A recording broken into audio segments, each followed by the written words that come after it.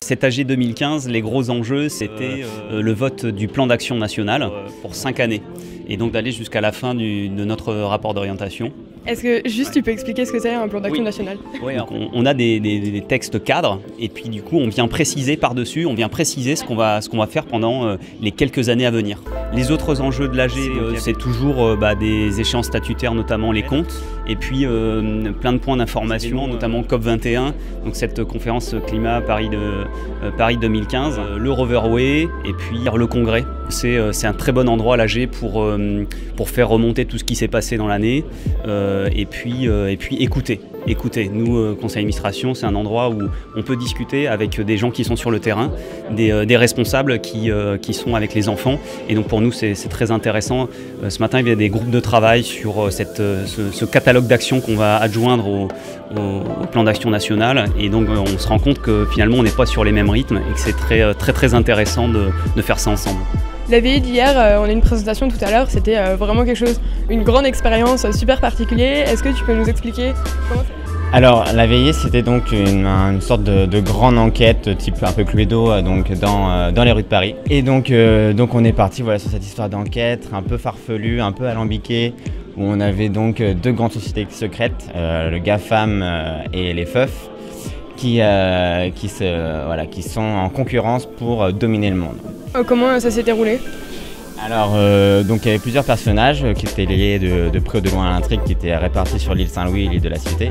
Et donc, euh, bah, les, les, équipes étaient lâchées, donc on avait une petite dizaine d'équipes qui partaient à la rencontre de ces personnages, leur poser des questions. Donc il y avait une première mise en situation, une mise en scène ici, avec une vidéo qui a un peu lancé l'intrigue. C'était une expérience.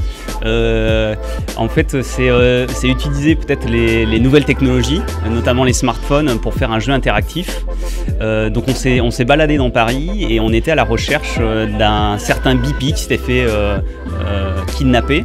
En fait, c'était un jeu collaboratif où chaque équipe en fait communiquait avec les autres euh, l'utilisation, avec l'utilisation d'un smartphone. Il y avait euh, donc euh, un système de, partage d'informations par les réseaux sociaux, donc par Facebook et par SMS.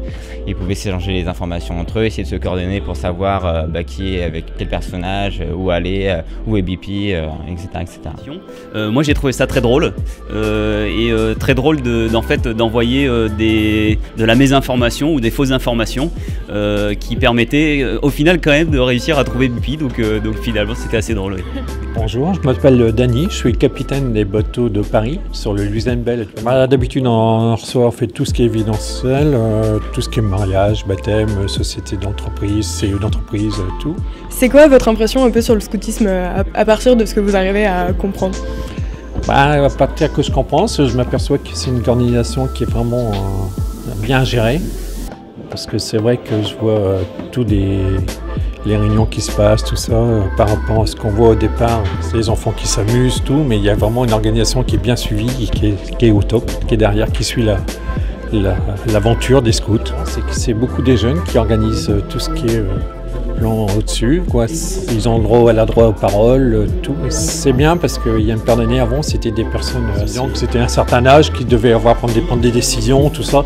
Que là, maintenant, je vois des jeunes de 18 ans qui ont des paroles, ils ont le droit de voter, tout ça. C'est super bien. Quoi. Ça, ça, les motive et on voit qu'il y a une bonne organisation derrière.